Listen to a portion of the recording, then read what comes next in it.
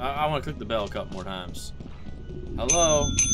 What do I do over here? How do I lose? Yeah, excuse me. I heard you're you're the the manager here. Excuse me. How do I get you? Yeah, listen. I'm, I want my items back. Customer service, are you currently closed? Is you closed? Ah, excuse me. I have a return. I have stuff I want to get back. I need money. Listen.